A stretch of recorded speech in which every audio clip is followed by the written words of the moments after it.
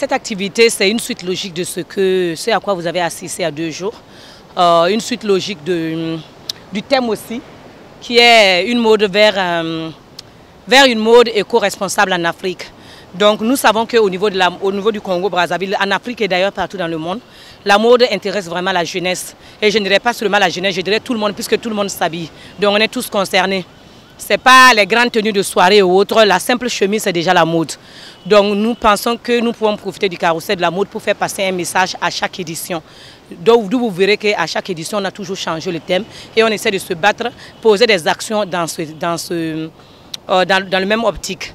Donc, euh, la dernière fois, on avait fait, comme vous le savez déjà, la visite à ton service. On a fait la formation aux mannequins au niveau de World, euh, World Shop. Donc aujourd'hui, c'est la suite logique. La troisième étape, parce qu'il y a eu la première la deuxième étape, ça c'est la troisième étape, une quatrième étape. Et la troisième étape, justement, c'est de ramasser les ordures au niveau de la plage. Et puis, nous allons passer aussi au rond-point Lumumba pour une sensibilisation. Après le rond-point Lumumba, on continue à Tchétché pour le ramassage des ordures sur place. C'est vraiment pour que les mannequins touchent du doigt le, le thème.